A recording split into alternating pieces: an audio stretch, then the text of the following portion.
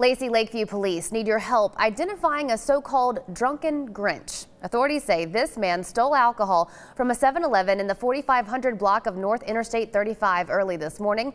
A few hours later, police say he stole champagne from a Chevron Food Mart in the 1000 block of East Craven Avenue.